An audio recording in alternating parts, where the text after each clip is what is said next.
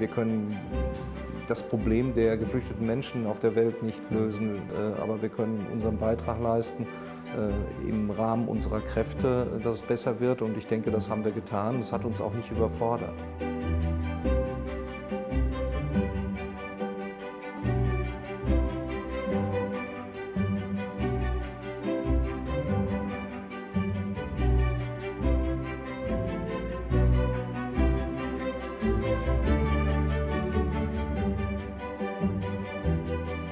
Freiwillige Engagement hat bei uns eine lange Tradition. Wir haben das lange geübt, auch äh, zu vernetzen mit den, mit den hauptamtlichen Strukturen. Ich glaube, das ist sowas wie das Rückgrat äh, unseres Engagements.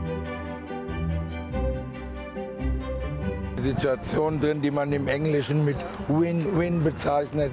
Einerseits, dass eben die Flüchtlinge, die in Deutschland sind, dass man denen eben hilft, das Richtige zu finden. Und auf der anderen Seite, dass es eben auch für Deutschland ein Gewinn ist, für die Gesellschaft hier.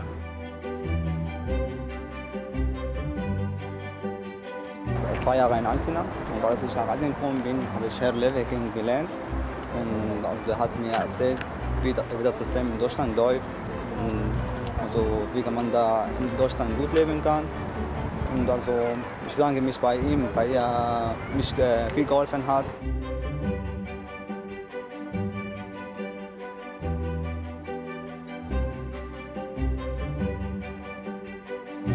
Also ich glaube, mit unserem Ansatz äh, gelingt es, äh, Vorurteile deutlich abzubauen.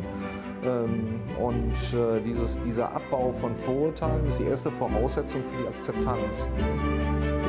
Das Ziel, für das ich kämpfe, ist richtig und ich bin irgendwann mal in die Politik gegangen, weil ich Ziele umsetzen wollte und Haltung zeigen wollte. Und äh, das ist durchaus so, dass ich es nach wie vor für richtig halte. Das ist der Grund, warum ich Politik mache.